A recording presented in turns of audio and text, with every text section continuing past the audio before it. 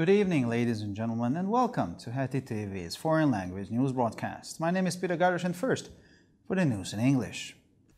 Communication and information sharing between the allied countries is ongoing, including on the situation in the Balkans and on the Russian Ukrainian border, said Lieutenant General Romulus Rosinsendi, the commander of the Hungarian Defense Forces, to the Hungarian public media after talks with General Mark Milley, the chairman of the Joint Chief of Staff in Washington, D.C., the U.S. capital.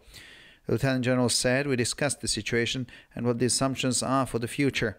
The Hungarian Defense Forces commander stressed the need for a continuous exchange of information between the allies so that NATO and the nations can then prepare for possible courses of action with the help of military analysis. The Hungarian military leader also pointed out that for the first time in 16 years, the U.S. Chief of Staff received the Hungarian army commander. The judges cancelled the hearing on Tuesday in the corruption trial of former Prime Minister Benjamin Netanyahu to allow the Israeli prosecutor to respond to allegations that police used spyware to hack the phones of key witnesses in the cases without judicial oversight or approval. Ronnie Tiros, the leader, lead prosecutor in the case against former Prime Minister Netanyahu, said he was confident that no evidence in the case had been obtained illegally.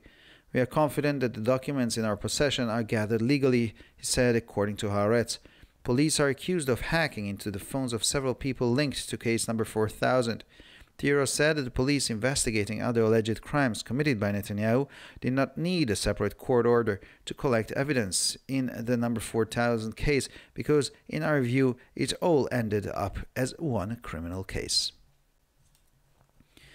The number of severe COVID 19 cases in Israel has started to decline, and the number of people infected with the virus continues to fall, says the health ministry.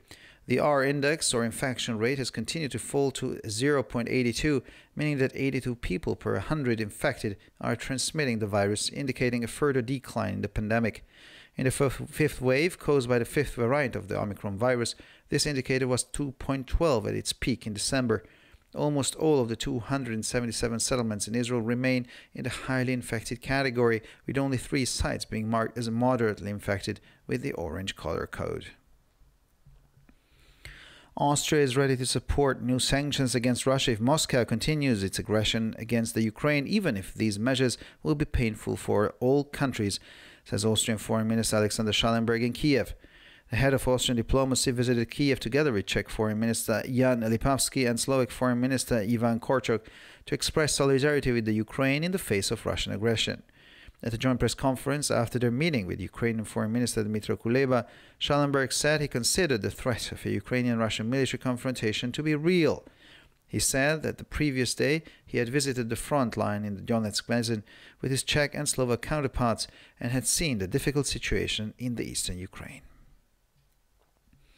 And finally, for the weather in the evening, mostly starry skies are expected with light air movement. Tomorrow, we can expect clear skies with sunny and cloudy intervals. Temperatures will typically average between 1 and 5 degrees Celsius in the morning and 10 to 14 degrees Celsius in the afternoon hours. For further news, please visit our websites at www.hetitv.com or briarpress.com. Thank you for your attention so much for the news in English, and now for the news in German.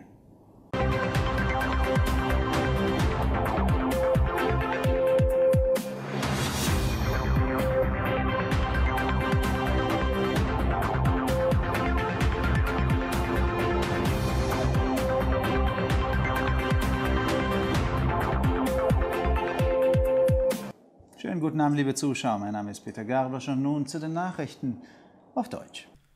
Die Kommunikation und der Informationsaustausch zwischen den verbündeten Ländern wird fortgesetzt, auch über die Lage auf dem Balkan und an der russisch-ukrainischen Grenze, erklärte Generalleutnant Romulus Rosinsendi, Befehlshaber der ungarischen Streitkräfte, gegenüber den ungarischen Medien nach Gesprächen mit General Mark Milley, dem Vorsitzenden der Joint Chief of Staff in der US-Hauptstadt Washington, D.C. Der Generalleutnant sagte, wir haben darüber gesprochen, wie die Situation bewertet wird und welche Annahmen wir für die Zukunft haben. Der Kommandeur der ungarischen Streitkräfte betonte die Notwendigkeit eines kontinuierlichen Informationsaustausches zwischen den Verbündeten, damit sich die NATO und die Nationen mit Hilfe von Militäranalysten auf mögliche Vorgehensweisen vorbereiten könnten. Der ungarische Militärchef wies auch darauf hin, dass der US-Generalstabschef zum ersten Mal seit 16 Jahren den ungarischen Armeechef empfangen hat. Die Richter sagten am Dienstag eine Anhörung im äh, Korruptionsprozess gegen den ehemaligen Ministerpräsidenten Benjamin Netanyahu ab, um der israelischen Staatsanwaltschaft die Möglichkeit zu geben, zu den Vorwürfen Stellung zu nehmen. Die Polizei habe Spionagesoftware verwendet, um die Telefone wichtiger Zeugen in den Fällen ohne rechtliche Aufsicht oder Genehmigung zu hacken. Ronit Tiros, der leitende Staatsanwaltin im Verfahren gegen den ehemaligen Premierminister Netanyahu, sagte, sie sei zuversichtlich, dass keine Beweise in dem Fall illegal beschaffen worden seien. Wir sind zuversichtlich, dass die in unserem Besitz befindlichen Dokumente legal zusammengestellt wurden, sagte sie laut Haaretz. Der Polizei wird vorgeworfen, sich in die Telefone mehrere Personen gehackt zu haben, die mit dem Fall Nummer 4000 in Verbindung stehen. Tiros sagte, dass die Polizei die andere mutmaßliche Straftaten Netanyahus untersucht keinen separaten Gerichtsbeschluss benötige, um Beweise im Fall 4000 zu sammeln, da unserer Ansicht nach alles in einem einzigen Kriminalfall endete. Die Zahl der schweren Covid-19-Fälle in Israel beginnt zu sinken und die Zahl der mit dem Coronavirus infizierten Personen geht weiter zurück, berichtete das Gesundheitsministerium. Der R-Index, das heißt die Infektionsrate, ist weiter auf 0,82 gesunken, was bedeutet, dass 82 Personen pro 100 Infizierte das Virus übertragen, was auf einen weiteren Rückgang der Epidemie hindeutet. Bei der fünften Welle, die durch die fünfte Variante des Omikron-Virus ausgelöst wurde, lag dieser Indikator auf dem Höhepunkt im Dezember bei 2,12. Fast alle der 277 Siedlungen in Israel fallen weiterhin in die Kategorie hochgradig infiziert. Nur drei Ortschaften sind als mäßig infiziert mit dem Farbcode Orange gekennzeichnet. Österreich ist bereit, neue Sanktionen gegen Russland zu unterstützen, wenn Moskau seine Aggression gegen die Ukraine fortsetzt, auch wenn diese Maßnahmen für alle Länder schmerzhaft sein werden, sagte der österreichische Außenminister Alexander Schallenberg in Kiew. Der Chef der österreichischen Diplomatie besuchte Kiew gemeinsam mit dem tschechischen Außenminister Jan Lipavsky und dem slowakischen Außenminister Ivan Korczok, um der Ukraine angesichts der russischen Aggression seine Solidarität zu bekunden. Bei einer gemeinsamen Pressekonferenz nach dem Treffen mit dem ukrainischen Außenminister Dmitro Kuleba sagte Schallenberg, er halte die Gefahr einer ukrainisch-russischen militärischen Konfrontation für real.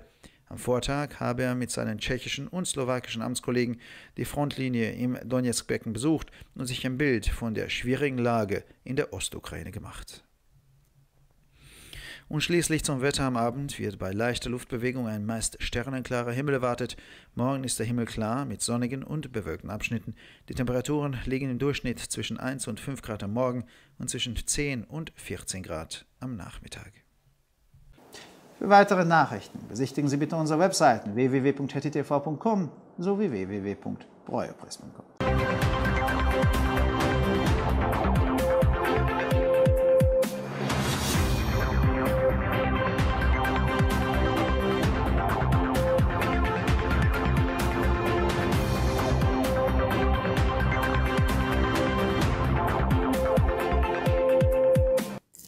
שלום וערב טוב, כאן ציפי בוכמן וילדבאום עם החדשות בעברית.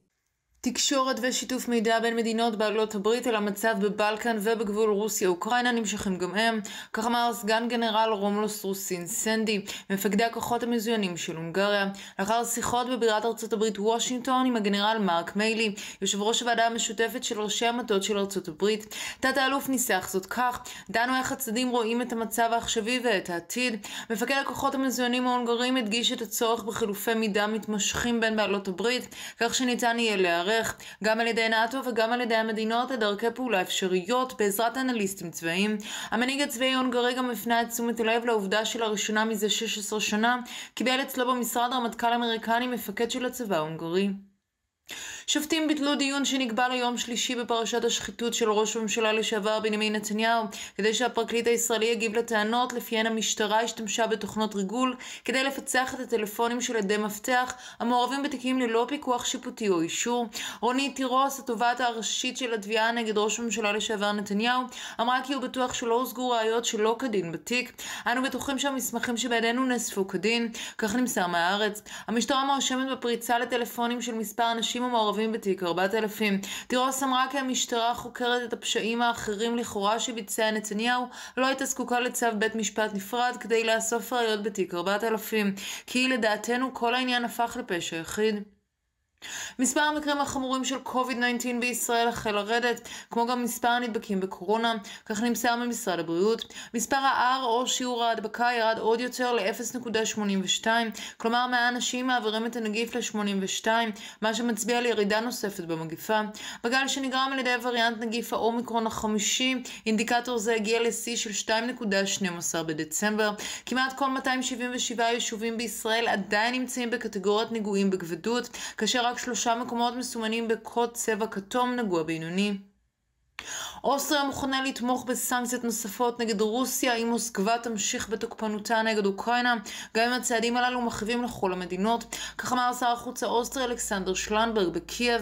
ראש הדיפלומטיה האוסטרית יחד עם שר החוץ הצ'כי יאן ליפבסקי ושר החוץ הסלובקי איוון קורקוק ביקרו בקייב כדי להביע את הזדהותם עם אוקראינה נגד התוקפנות הרוסית. במסיבת עיתונאים משותפת אחר פגישתם עם שר החוץ האוקראיני דמיטר קולבה אמר שלנברג כי הוא רואה בהתנגשות צבאית אוקראינית רוסית רוסית איום אמיתי. הוא סיפר כי ביקר בקו הקדמי של אגן דונייצק עם וצ'כים באסטובקים יום קודם לכן, וראה כמה קשה המצב במזרח אוקראינה. ועכשיו נעבור לתחזית מזג האוויר, בערב צפויים שמיים מעוננים, מחר עם מזג אוויר ללא חזית מעונן עד בעיר. הטמפרטורות הממוצעות יהיו בין מעלה ל-5 מעלות בבוקר ובין 10 ל-14 מעלות אחר הצהריים. לחדשות נוספות, אנא בקרו באתרי האינטרנט שלנו, etytv.com או broyerpress.com. עד כאן החדשות, תודה שהייתם איתנו ושיהיה המשך ערב נעים.